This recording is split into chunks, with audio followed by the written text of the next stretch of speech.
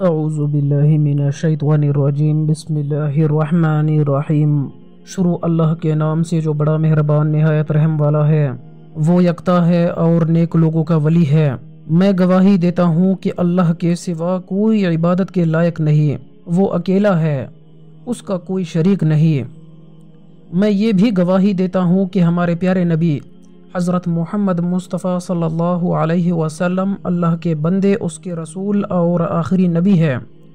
अय मेरे अल्लाह, मेरे प्यारे नबी, हज़रत मोहम्मद मुस्तफ़ा सल्लल्लाहु अलैहि वसल्लम पर और उनकी आल पर और उनके तमाम सहाबा इकराम पर अपनी ख़ास रहमत, बरकत और सलामती नाजिल फरमा। नाजरीन, आज आपकी खिदमत में एक वजीफ़ा लेकर हाजिर हुआ हूँ। इस वजीफ़े को मैंने ख़ुद कम अज़ कम, अल्लाह ने मुझे इतना नवाजा है, मैं कभी सोच नहीं सकता था कि मेरा रब मुझ पर इतना कर्म करेगा।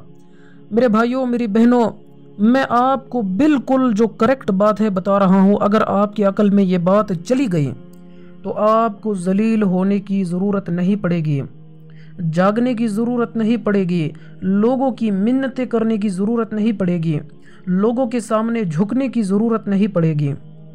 नाजरीन, एक दर है जिससे सब कुछ मिलने वाला है, वो है अल्लाह का दर। और हज़रत मोहम्मद मुस्तफ़ा सल्लल्लाहु अलैहि वसल्लम की सुन्नत। अगर आप अपनी कामयाबी चाहते हो, अपने बच्चों की कामयाबी चाहते हो, अपने बुज़ुर्गों की या अपने घर की या अपनी फैमिली की आबादी चाहते हो, दिल है कि ये प्रमोट हो जाए, दिल है कि ये कामयाब हो जाए, दिल है कि ये तरक्की कर जाए।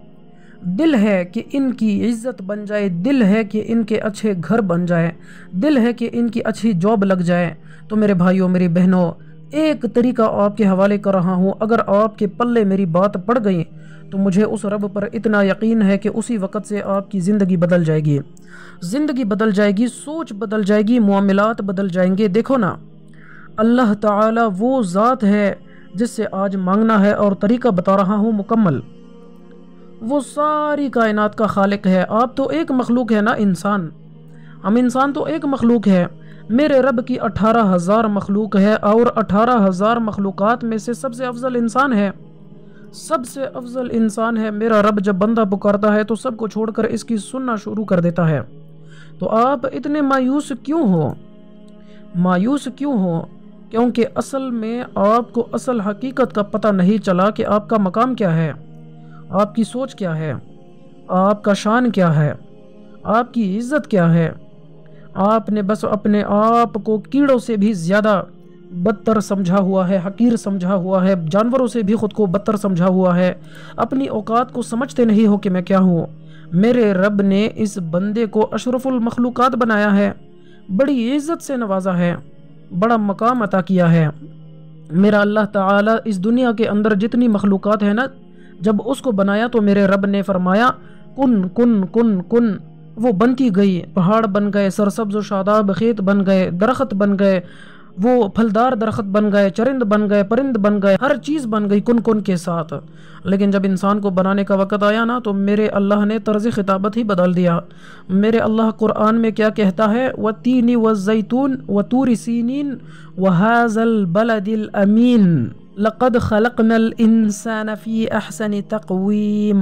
मेरा अल्लाह फरमाता है कि मैं इस कायनात के अंदर जितनी भी चीज़ें हैं, उनके लिए लफ्ज़ कन का इस्तेमाल किया। लेकिन जब मैंने अपने बंदे को बनाया तो मैंने तर्ज खिताबत बदल के फरमाया कि व तीन व जैतून व तूरी व हाजल बलदिल अमीन।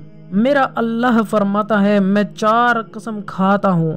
पहले नंबर पर व तीन की दूसरे नंबर पर जैतून की तीसरे नंबर पर वतूरी जिस पहाड़ के ऊपर हज़रत मूसा सलाम मेरे साथ हम कलाम होते हैं, मेरे साथ राज व न्याज की बातें करते हैं, मुझे उस तूरी सीन की कसम है। वह हाजल बलदिल अमीन। मुझे उस मक्के शहर की गलियों की कसम है, जहाँ पर मेरा प्यारा नबी, मेरा प्यारा पैगंबर हज़रत मोहम्मद मुस्तफ़ा सल्लल्लाहु अलैहि वसल्लम चलते थे। चार कस्मों के खाने के बाद मेरा अल्लाह फरमाता है, लक़द, मैंने अपने ज़ात की कसम खाई। खलकनल इंसान फ़ी अहसन तकवीम। मैंने बड़ी अजमत से इंसान को बनाया है, मैंने बड़ी इज़्ज़त के साथ इंसान को बनाया है। अल्लाह ने बड़ी शान के साथ इस बंदे की तख्लीक की है, नाजरीन। ऐसे नहीं कि ये वैसे बन चुका है। नाजरीन, आप अपने मकाम को समझो, अपनी हैसियत को समझो, अपने शान को समझो। आज एक वजीफ़ा बता रहा हूँ, मुकम्मल जहन के साथ सोना और अकल के साथ। ऐसा ना हो कि एक कान में जाए, दूसरे कान से निकाल दो, वरना ज़िंदगी बर्बाद है। काम क्या करना है? वजीफ़ा सुन लो। ये वजीफ़ा वो लोग कर सकेंगे जो लोग इस अमल की इजाज़त लेंगे, वो अपना नाम और अपनी वालदा का या वालिद का नाम कमेंट सेक्शन में ज़रूर लिखेंगे। इसके बाद इस अमल की इजाज़त दी जाएगी, फिर अमल कर लेना।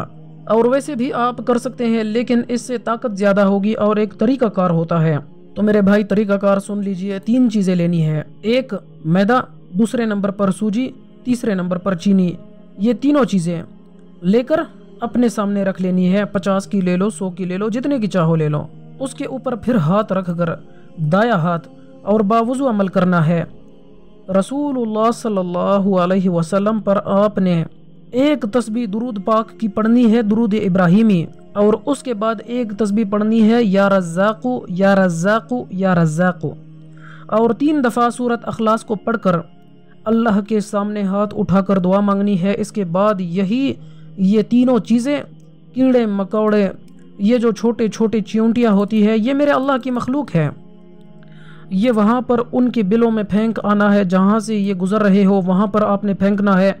फिर मेरा रब आपको एक दाने के बदले में करोड़ों रुपए आता फरमाएगा, करोड़ों रुपए। आपने किसी मखलूक की खिदमत की है और एक अंदाज में की है। रसूलुल्लाह सल्लल्लाहु अलैहि वसल्लम पर दुरूद शरीफ पढ़कर की है। अल्लाह से मांगा है दुनिया से लातालगी ज़ाहिर की है तो देखना इसका कमाल। अल्लाह पाक अपनी कुदरत के साथ, अपनी शफकत के साथ इतना आता करेगा, इतना आता करेगा कि कभी ख़त्म होने का नाम नहीं लेगा। अल्लाह पाक अमल की तोफ़ी कता फरमाए।